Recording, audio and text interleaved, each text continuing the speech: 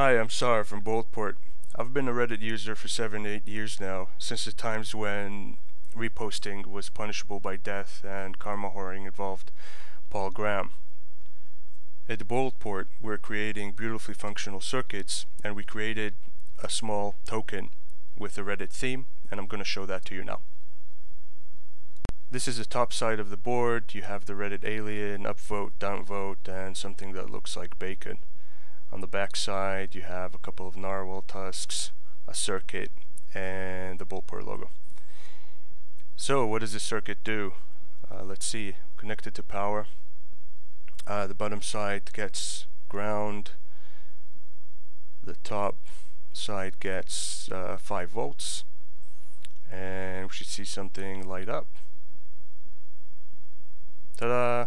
The orange of the Reddit alien.